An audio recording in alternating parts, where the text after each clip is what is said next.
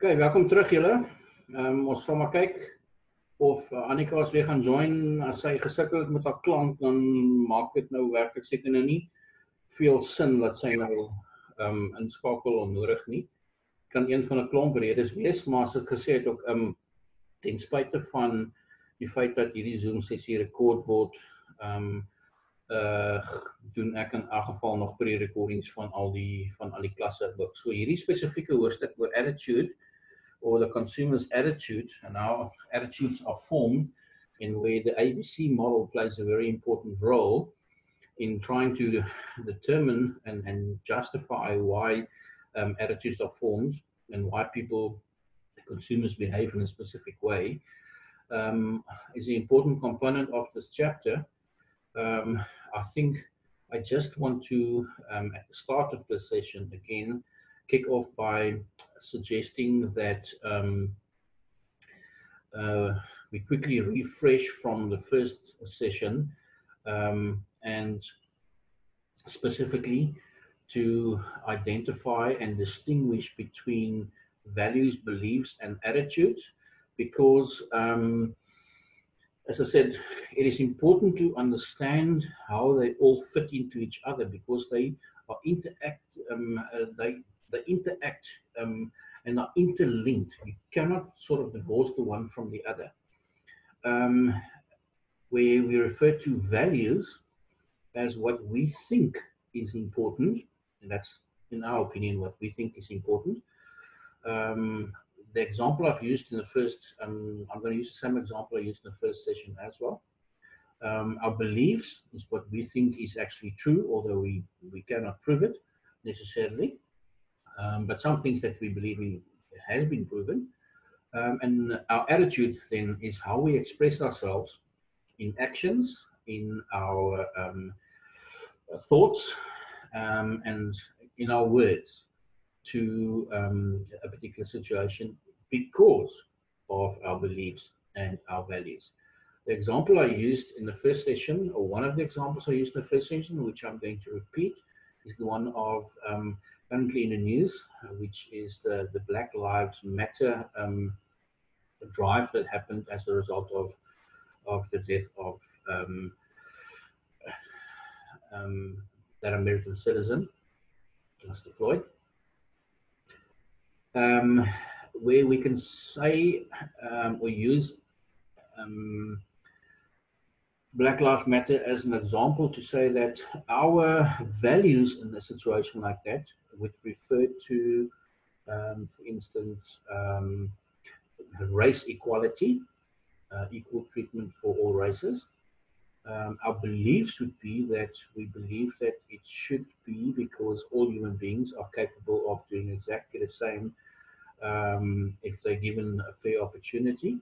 And our attitude could be that when somebody makes a statement that um, says that, you know what, there, is a distinct difference between um, such a race and such a race. And that aggravates you, and you express yourself either in words by um, countering that particular statement and getting into argument, so to speak, or to, um, to take action, like a lot of the sports people have done by wearing armbands and also taking a knee before the start of every game. Those are um, or that is an example of how values, beliefs, and attitudes um, are put into action. The ABC model, the first um, the, important, um, a very important element of, of chapter five, um, chapter nine, um, where the A refers to uh, the the emotions and the feelings. In other words, the affective component, which deals with the emotions and the feelings of a customer, where our B refers to our behavioral um, actions, in other words, the actions um, that we take um, to buy or not to buy, basically.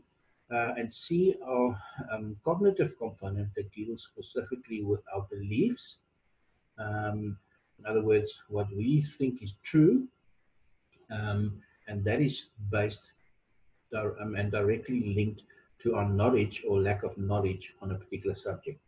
Now, attitude formation can, um, and, and, we've also determined in the first section that attitudes, um, attitudes are learned Um, it's learned in, in, in many ways. Um, and people are not born with an attitude. They actually do learn attitudes, and it can be done in a number of ways.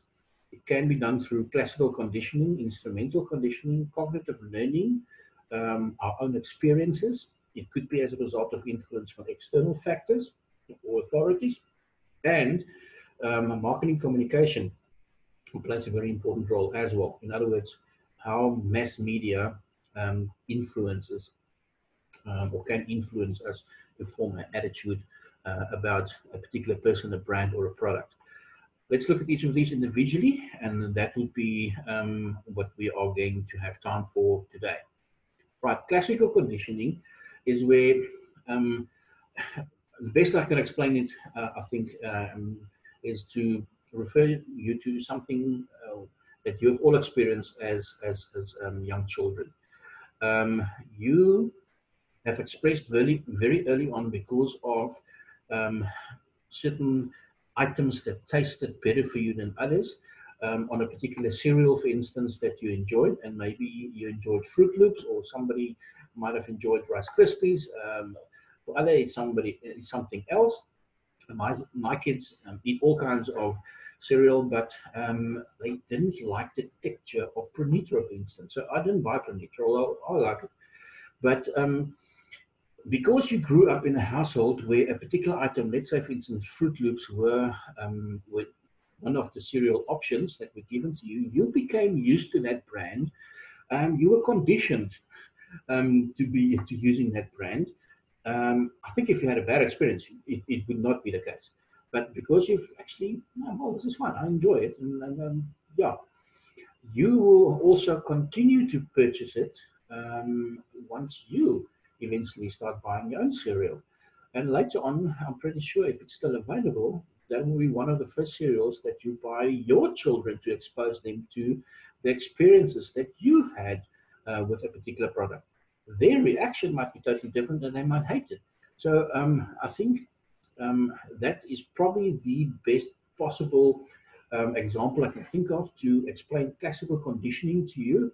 Um, furthermore, you can use um, um, the example that I have there about the Kelvinator as a brand, and they have a specific, and they've been known uh, to to supply uh, and manufacture and supply um, fridges and freezers and, and tumble dryers and dishwashing machines and washing machines. And because of the um, experience that customers have had with that particular brand, once they add new um, products to the range, you will, through the classical conditioning that you've experienced that made you loyal to that particular brand, you will consider that particular new addition in their product range before you do the same kind of product from a different brand.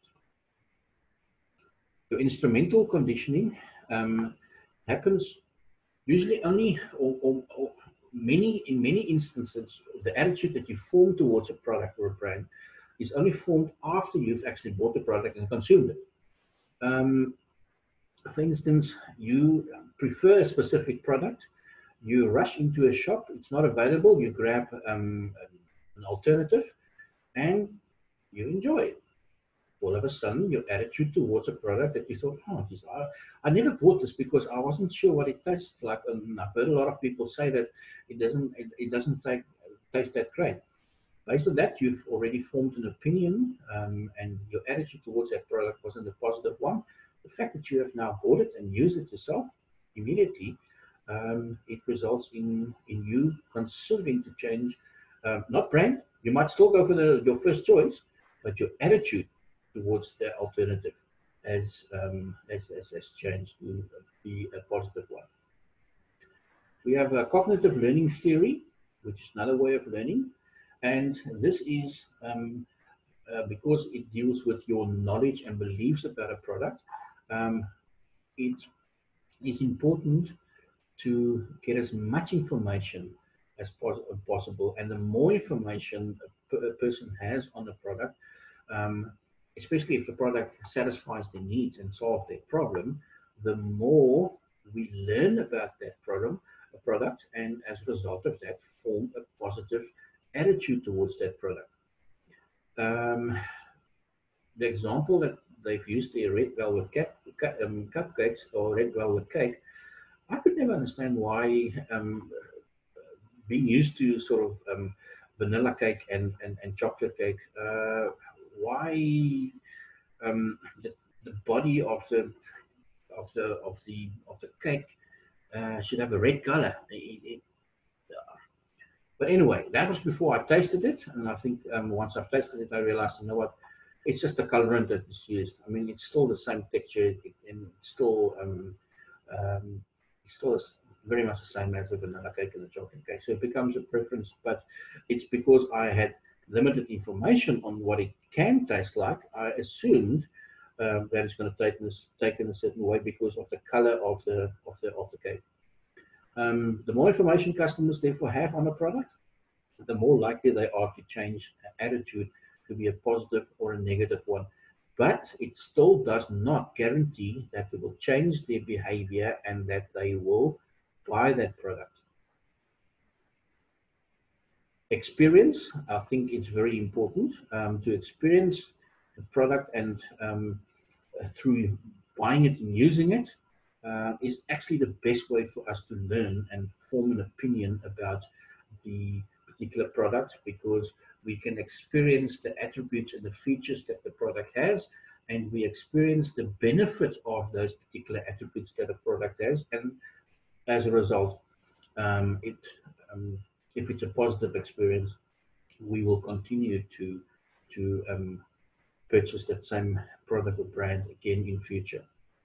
A very important way for marketers to ensure that this process of learning happens is by handing out promotions and samples and um, for instance, if you're going to drive a car, I mean, I'm not going to say, listen, drive this car for a week, and um, if you like it, uh, you don't have to bring it back, just pay for it. Um, no, um, sales consultant gets in the car with you and takes it for a test drive. You return it, and if you're happy, you sign the paperwork, and only then you can get the vehicle. But um, the experience is usually what makes um, it so much easier for consumers to um, form an attitude towards a product. It again is not a guarantee that you will end up buying that product, but it goes a long way. External authorities very often um, the use of celebrities in ad and in commercials um, um, make us associate the product with a certain celebrity. And if a celebrity is a, is, is a, is um, a well-known celebrity and a celebrity who have on many occasions expressed certain strong values on certain subjects, um, then we would tend to support that particular brand based on that particular celebrity using it. But more commonly for us, um, we don't meet celebrities on a daily basis, but we do have family and friends that we um, interact with on a daily basis. And we always have somebody in our reference group uh, whose opinion we um, value. And um, because we trust and respect that individual, very often um, when they express their opinion, which is basically uh, a verbal expression or a um, um, um, um, or action towards a particular product or brand, we would also subconsciously form a, a, similar, if we haven't had any experience on a particular product, or so we would definitely um, then form a similar opinion to this particular individual. It's also um, those people that we, um, because we value their opinions, that we approach. If we're unsure um, if um, we are making the right decision, and it's usually these go-to um, people that we use to um, provide us with more information that helps us to make a decision, positive or negative. We all know that um, marketing communication and the mass media and commercials and everything um, is in our face on a daily basis. We receive so many um, on different platforms, so many messages of information on a daily basis that we have um, consumers fatigue because of the amount of information that we receive um, is, um, however, a very important influencing factor on us forming an attitude because, um, especially if, if it comes from a, a reliable source. Um, it needs to be, um, and, and, I'm very wary about this, especially because there's so many fake news going around. But my attitude um, is definitely influenced by um, is definitely influenced a great deal by what I see and read in the media. Um, I'm not sure how you guys feel about this. Um, which of these, uh, because I think I'm going to conclude for today right here, which of these um, forms of learning have you um, expressed is the one that often is, is, is, is the most influential in you forming uh, an opinion or attitude towards something. Christian, summary, net om af te sluit. Wat een van hierdie het ek gaan net gou op die daar sit daai wat van daai wat een van daai ses is die een wat vir julle die meeste beïnvloed om 'n attitude te vorm teenoor iets. Ja, ehm um, Ek dink hulle werk baie keer ek moet sê met mekaar. Ja, ek moet sê ek gaan nogal baie op wat mense sê of in terme van as ek opkyk na 'n celebrity en sy of hy beveel 'n produk vir my aan of is self in die advertensie, hmm. sal ek nogal gaan en die produk gaan koop. Maar ek gaan nogal baie op mense se opinies. Mense se opinies affekteer my maklik. Meneer, mainly dink ek van my kant af is marketing communication in 'n manier. Okay, ek het nou nie van nommer 1 af geluister hier. Ek was nou nie daar nie, maar wat ek nou wou gesê het is as ek moet gaan, sal ek dink gaan ek ek nou soos ek sê die eerste drie is nog 'n mystery vir my, maar ek ek sien of ek hoor 'n ja. ding deur communication van wat jy sien op jou foon of iewers sien word geadverteer, dan wonder jy daaroor. Okay, dan voor jy dit gaan koop, dan kry jy second thoughts of second thoughts. Regtig moet ek dit koop as ek seker ja. wil ek dit En dis wanneer ek gaan Dis wanneer ek dink jy gaan luister na ander mense se se opinie wat dit al gebruik en dan kom nommer 4 in, experience. Ja, ek moet tog sê ek gaan ook baie op experience. Ek dink ja, ek dink ja. die die baie ek, van my persepsies word verander as ek dit self experience. Hmm. Ek dink dit is dit is hoekom ons kan ek dink daar is spesifieke um, daar is nou hierdie 6 um, wyse waarop 'n mens kan jou attitude aanleer of opinies kan vorm. Ehm um, maar um, ek dink die die slotsom is dat jy kan nie eintlik werklik een van hulle uitsonder en sê hierdie is die go-to een en hierdie is die manier hoe meeste ja. van leer nie. Die classical conditioning Christian is dit wat jy aangewoon geraak het toe jy 'n kind was, wat jou ouers gekoop het en nou het jy dit ook in die huis en later gaan jy waarskynlik wanneer jy met 'n gesin begin, ehm um, as jy 'n positiewe houding het teenoor daai produk en 'n positiewe ervaring gehad het, gaan jy waarskynlik ja. hulle produk bly koop, verstaan en ondersteun. Ja, dis verstaan 'n ou 'n paar rye Fortuner, dan koop jy weer vir die kind glo ek, Toyota is die regte kar. Ek verstaan dit, ja. Ja, so, dit, ja. Dit is dit is wat die classical conditioning beteken en instrumental conditioning eh, gaan meer hand aan hand met experience waar jy ehm um, fisies ek nie opinie oor 'n produk nie, maar nou word jy half in 'n situasie geforseer want jou eerste keuse is nie beskikbaar nie. Nou vat jy 'n ander opsie, jy gebruik dit en jy sê, "Ag, oh, dis actually nie so bad nie." Ehm um, so okay. jy gaan nie noodwendig die volgende keer ehm um, daai produk koop nie. Jy gaan nog steeds jou eerste keuse koop want hy's beskikbaar, ja. maar jou opinie het jy verander teenoor 'n um, produk B wat jy die vorige keer gebruik het. Ehm um, en ek dink ja, ja, meeste ja. van ons dink ek word ehm um, omdat dit so in our faces is en so konstant is word deur um, marketing communication deur daai massa media word ons die eerste keer blootgestel aan aan um, aan 'n betrokke produk of 'n brand. Um ek dink as dit jou interesseer en jy het 'n spesifieke behoefte daarvoor, anderswoorde jy, o oh ja, ek het daai ding nodig, ek jy so 'n ding gesoek. Outomaties ja. gaan ek dink jy meer inligting soek. Dit is jou cognitive learning theory. Jy gaan begin um doen 'n Google search op die ding. Kyk nou op hulle webwerf. Okay. Okay. En dan Wanneer, gaan jy waarskynlik ook vriende en familie, external authorities gaan jy vra. Het jy al gehoor van hierdie produk want Ja, Ja. ek gebruik dit al baie en dit is actually regtig uitstekend. Ek het ek ek het van my vorige brein verander om hierdie een is meer effektief.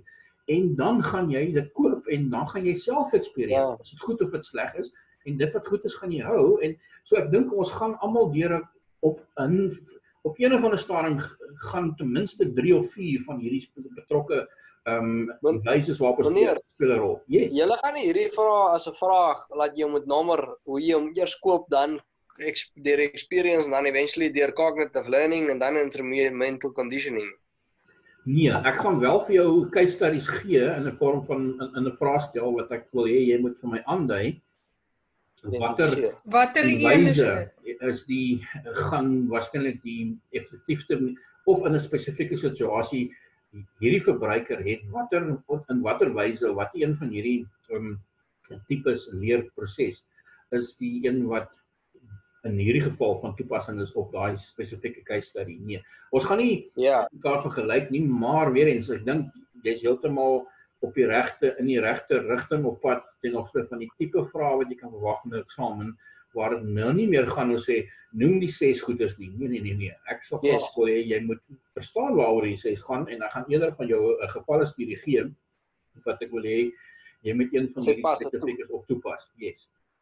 Want as jy verstaan wat elk van hierdie ses oor gaan, dan gaan wanneer ek die case study vir jou gee, jy dit kan bymekaar uitbring. En ek dink dis ja, ja. op tweedejaars vlak gebeur. Ja, dit maak sin as meneer dit vir my so verduidelik. Nou verstaan ek heeltemal. Ek verstaan nog steeds jy kom nou 'n helder dag vir jou probeer nou vandag teken nie, maar anyways, ek sê as jy was nie, dan was dit iemand anders gewees, maar dit sou iemand gewees het. Dis nou Nee nee nee. Ja. Dan is kan jy ek nou my dop om rustig te raak daaroor nie, né? Nee, want die taak, waar gaan ek nog die meneer se toets skryf? ah, jy het nog tot vanaand en dis nie so dis nie so ingewikkeld nie. Jy moenie stres nie. Ja, maar meneer weet mos nog hy stel kom afstel, so ek begin liewer. Nee, dis fyn. Luister julle, dit was lekker om weer te chat. Ehm um, ek wens ons kan dit meer gereeld doen. Ek sou verkies dat ons ehm um, Ja, meneer, ek moet nogal sê, Yes. ek konsentreer beter met Zoom. Mm, ja, ek ook. Ek konsentreer beter. Ja, ek konsentreer beter as daar interaksie is. Definitief. Vir my is dit ook lekker want ek wil die hele tyd met 'n skerm praat, jy verstaan? So ehm um, en dan As meneer nou vir my daai sê is goed gesit het daar, dan sou ek gesê het, okay. Nou Ja. ja, maar Maar ek is gesê dit- classical Maar is conditioning. load so goed shedding, met. Ja, praat so Correct. moenie. is load shedding nou eers verby nie? Ja, dit is. Dit is maar die die Ja. geval is jy um, soos ek vir Annika net gesê het ook. Ons wil um, of is dit vir Dedrey dink ek wat gesê het in die vorige klas. Die rede hoekom ons dit um, op hierdie manier besluit het is ons weet mos nou al en dit is bewys ook oor en oor met die vorige besluit wat hulle geneem het 2 weke terug om die curfew in te bring van 9 ure in die aand en om drankverkope te verbied en wat ook al.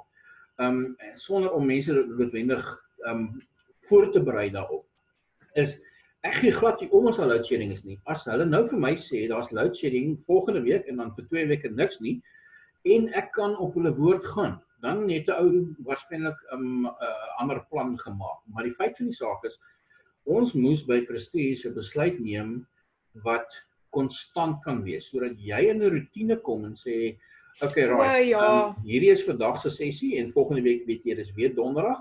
Want as ons nou sê okay, vandag is dit so mense en ons gaan elke sessie gaan ons Zoom en dis 100% reg. Volgende week is weer load shedding, dan gaan ons weer terug na formaat B toe. Jy kan later nie bybly nie. So dit is uit 'n consistency Ja. punt. Is dit 'n geval van wat is die beste van die slegste? Ehm um, en en dit was om te sê ons kan nie staat maak dat Eskom nie enige oomblik die plak gaan uittrek nie. So juis as gevolg daarvan Ja.